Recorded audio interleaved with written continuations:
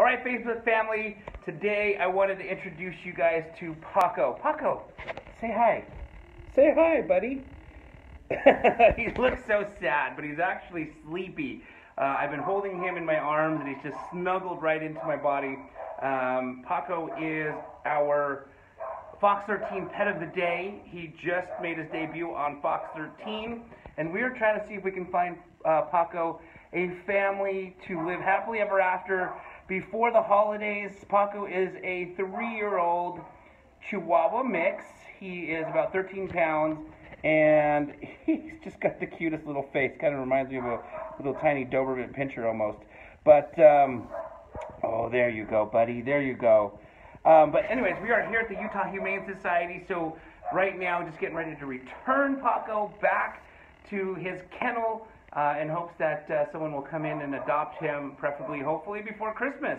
So if you're looking to adopt and add a new family member, and you're thinking about possibly adopting a Chihuahua, definitely consider Paco. Um, also, what's really cool is, you know, I've had a lot of fun uh, meeting all these pets. If you have any interest, the Humane Society is always looking for volunteers to help these animals, whether it's to go on walks um, or take them down to uh, Fox 13 or all sorts of different things. Um, definitely, if you're looking to um, get some volunteer time in, uh, consider these little guys over here. They are so freaking adorable to come work with them. And uh, again, this is uh, Paco the Chihuahua mix. Actually, I'm going to turn the camera around.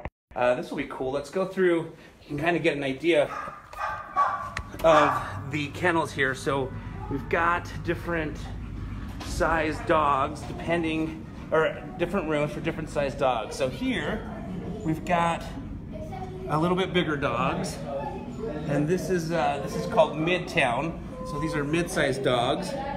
And then we got Uptown, which are bigger dogs over here.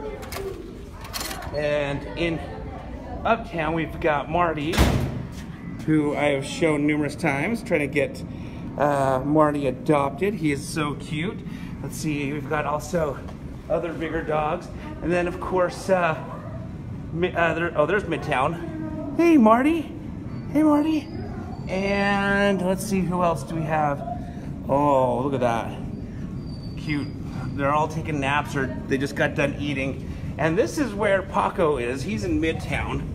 So let me, uh, Paco goes in here. This is his kennel. And we've got Tiny Town. And this is where the puppies are. Uh, let's see. Oh, look at that little guy. How cute is that little guy. And we've also got that little guy. Super cute. So, um, on that note, uh, again, let me around and uh, we've got Cody, or Cody, Paco here, who uh, is looking for a new home, hopefully before Christmas. So if you're thinking about adopting a Chihuahua or just a new family member, uh, consider this guy right here. He is so cute and loves to snuggle. And um, yeah, pass the word on. Thanks for watching.